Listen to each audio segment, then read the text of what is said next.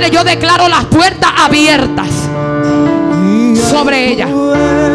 Nada, Padre, puede interrumpir el propósito que tú tienes en su vida, Dios. Padre, hay levantamiento en su contra. Padre, aleluya.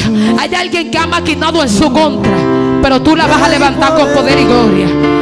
Porque las puertas que el hombre te ha querido cerrar, Dios abre más a tu favor. Espíritu Santo de Dios, obra favor, obra favor, obra favor. Llena Espíritu Santo, se rompe en cadena todo espíritu de retroceso que el diablo ha enviado en su contra de su vida.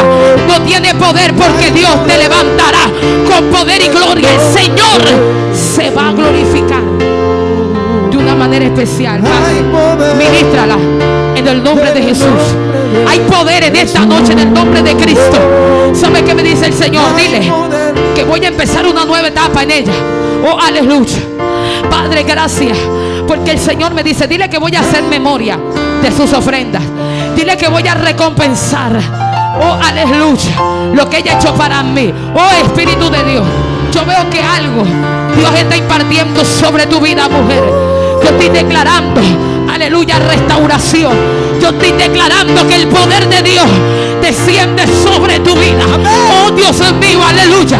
Oh Padre, fuego, fuego, fuego del Espíritu de Dios.